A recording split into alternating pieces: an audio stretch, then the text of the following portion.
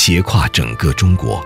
五千多公里之外，厦门对口援建的新疆吉木萨尔，同样是世界文化遗产的北庭故城，一场大规模的考古工作正在进行。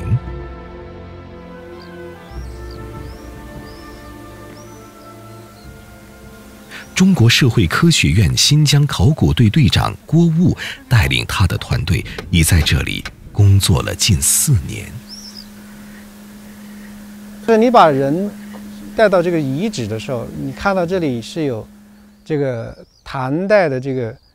典型的跟长安城一样的这个莲花连珠纹瓦单、莲花连珠纹地方砖等等这些东西。你站在这个遗址上，它是有这么一个见证啊，它不是不是空的，它是实在的。它向大家说明新疆至少汉代以来吧，一直在中央王朝的有效统治之下啊，它是中国版图不可分割的一部分，所以它是一个国家主权的见证。北庭故城始于汉，建于唐，兴于元，衰于元末明初，是古代陆上丝绸之路重镇。